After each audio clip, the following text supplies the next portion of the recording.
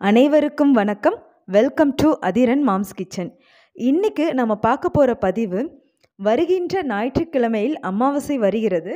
இந்த அமாவாசைக்கு நம்ம என்ன பரிகாரம் செய்கிறதுனால நம்மளுடைய கடன் பிரச்சனையை அடைக்கலாம் அப்படின்றதான் பார்க்க போகிறோம் எப்பொழுதுமே இந்த அமாவாசை பௌர்ணமிக்கு நம்ம ஏதாவது ஒரு பரிகாரத்தை செய்யணும் அப்படின்னு பார்ப்போம். ஏன்னா அந்த டைமில் பிரபஞ்சத்துடைய சக்தி ரொம்பவே அதிகமாக இருக்கும். இந்த அமாவாசைக்கு நம்ம வீட்டு பூஜை அறையில் ஒரு ரெண்டு பொருளை ஒன்றா சேர்த்து வைக்கிறதுனால இதுவரைக்கும் அடைக்கவே முடியாது அப்படின்னு நம்ம நினச்சிட்டு இருந்த கடனை கூட சுலபமாக அடைச்சிடலாம் ரொம்பவே எளிமையான பரிகாரம் தாங்க இது. யார் வேணாலும் இந்த பரிகாரத்தை செய்யலாம். பெருசாக இந்த பரிகாரத்தை செய்கிறதுக்கு எந்த ஒரு செலவும் தேவையில்லை. இது எப்படி செய்கிறது நம்ம வீடியோக்குள்ளே பார்த்து தெரிஞ்சுக்கலாம். ரொம்ப நாட்களாக வாங்கிய கடனை திருப்பி கொடுக்க முடியாமல் அவதிப்படுறவங்களா இருந்தீங்கன்னா இந்த பரிகாரத்தை செய்யும் பொழுது உங்களுக்கு நல்ல பலன் கிடைக்கும். உங்கள் வீட்டில் சுபகாரியங்கள் நடப்பதற்கு நிறைய தடைகள் வந்துக்கிட்டே இருந்தாலும் எந்த ஒரு நல்ல விஷயத்தை தொடங்கும் பொழுது அது நமக்கு சாதகமாக அமைகிற மாதிரி தெரியும். ஆனால் கடைசியில் பார்த்திங்கன்னா அந்த விஷயம் நமக்கு தோல்வியை தான் கொடுக்கும். இப்படி வீட்டில் உள்ள ஒரு நல்ல காரியத்தை கூட நம்மளால் நடத்த முடியாமல் கஷ்டப்பட்டு வருபவர்களாக இருந்தாலும் இந்த பரிகாரத்தை நீங்கள் செஞ்சீங்கன்னா உங்களுக்கு பலன் நிச்சயமாக கிடைக்குங்க. சாதாரணமாக எல்லோராலும் செய்யக்கூடிய ஒரு எளிமையான பரிகாரம் தான் இது. இந்த பரிகாரத்துக்கு நம்ம பயன்படுத்தக்கூடிய பொருள் ரெண்டே பொருள் தாங்க. ரெண்டு பொருளுமே நம்ம வீட்டில் எப்போவுமே இருக்கிறது தான். உங்களுடைய வீட்டில் இருக்கும் சமையலுக்கு பயன்படுத்தாத புதிதாக இருக்கும் சுத்தமான கல்லுப்பை இந்த பரிகாரத்துக்கு எடுத்துக்கோங்க. அடுத்து விரலி மஞ்சள் அப்படி இல்லைன்னா குண்டு மஞ்சள். எந்த மஞ்சள் உங்களுக்கு கிடைக்குதோ அதில் ஏதாவது ஒரு மஞ்சள் எடுத்துக்கோங்க. நீங்கள் யூஸ் பண்ணுற மஞ்சள் பார்க்குறதுக்கு முனை உடையாமல் இருக்கணும். முனை உடைந்த மஞ்சளாக வந்து இந்த பரிகாரத்துக்கு நம்ம யூஸ் பண்ணக்கூடாது. அப்படி இந்த பரிகாரத்துக்கு நீங்கள் அதை பயன்படுத்துனீங்கன்னா நிச்சயமாக உங்களுக்கு பலன் கிடைக்காது. ஒரு மஞ்சள் நிற சதுர வடிவில் இருக்கிற துணியை எடுத்துக்கோங்க. மஞ்சள் துணி இல்லைன்னா வெள்ளை துணியில் மஞ்சளை தேய்ச்சி ஊற வச்சு கொஞ்ச நேரம் காய்ந்த பிறகு இதை நீங்கள் யூஸ் பண்ணிக்கலாம். இந்த மஞ்சள் துணியில் ஒரு கைப்பிடி அளவுக்கு கல்லுப்பு எடுத்துக்கோங்க. உப்புடைய நடுவில் அந்த உடையாத மஞ்சள் கிழங்கை எடுத்து வச்சுடுங்க. இந்த ரெண்டு பொருட்களையும் சேர்த்து மஞ்சள் துணியில் ஒரு சின்னதாக முடிச்சாக கட்டி உங்கள் வீட்டு பூஜை அறையில் வச்சுடுங்க. கல்லுப்பையும் மஞ்சள் கிழங்கையும் மஞ்சள் துணியில் வைக்கும்போது உங்களுடைய கோரிக்கையை மனதார குலதெய்வத்திடமும் இந்த பிரபஞ்சத்திடமும் தினமும் சொல்லுங்கள். கடன் பிரச்சனையாக இருந்தாலும் சரி அப்படி இல்லைன்னா உங்களுடைய வீட்டில் நல்லது நடப்பதற்கு முட்டுக்கட்டையாக இருந்தாலும் சரி அது சரியாக வேண்டும் என்று மனதார நம்பிக்கையோடு பிரார்த்தனை செஞ்சுட்டு வாங்க. நீங்கள் கட்டி வைத்துள்ள இந்த முடிச்சு அடுத்த அமாவாசை வரைக்கும் அப்படியே உங்கள் வீட்டு பூஜை அறையில் இருக்கணும்.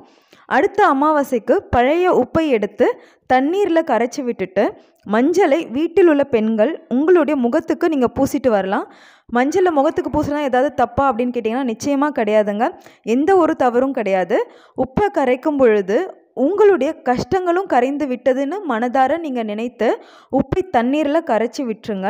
பூஜை ரூமில் வச்ச இந்த மூட்டையை எப்போ மாற்றணும்னு கேட்டிங்கன்னா அடுத்த அமாவாசை எந்த நாளுக்கு வருதோ அந்த டைமில் தான் நீங்கள் இதை மாற்றணும் இந்த மூட்டையில் இருக்கிற உப்பை கால்படாத இடமா பார்த்து போட்டுடுங்க.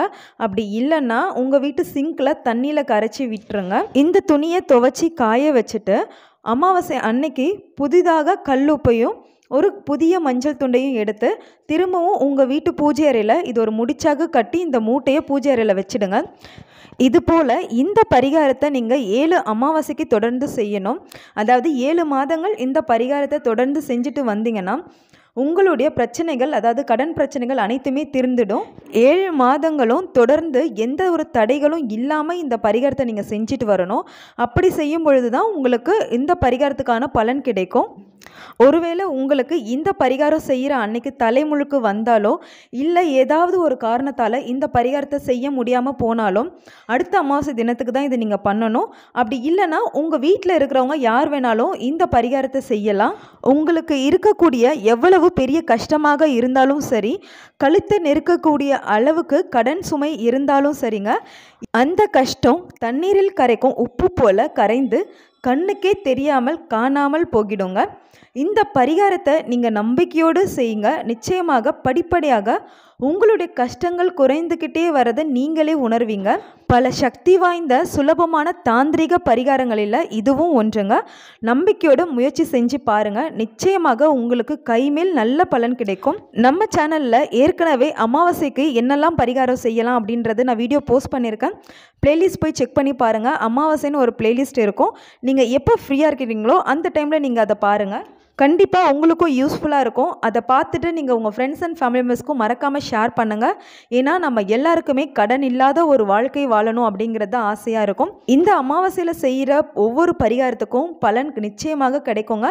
ஆனால் நீங்கள் எப்பொழுதுமே ஒன்று மட்டும் ஞாபகம் வச்சுக்கோங்க. நம்ம எந்த ஒரு காரியத்தை செய்தாலும் தொடர்ந்து செஞ்சுக்கிட்டே இருந்தால் மட்டும்தான் நமக்கு வெற்றி கிடைக்கும்.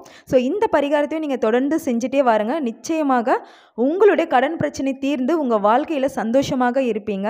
ஏற்கனவே ஏற்கனவே நான் அமாவாசை அன்னைக்கு போஸ்ட் பண்ண வீடியோவை ஐ பட்டன்லேயும் டிஸ்கிரிப்ஷன் பாக்ஸ்லையும் கொடுக்குறேன். செக் பண்ணி பாருங்கள் இந்த பதிவு உங்களுக்கு பிடிச்சிருக்கும்னு நினைக்கிறேன்.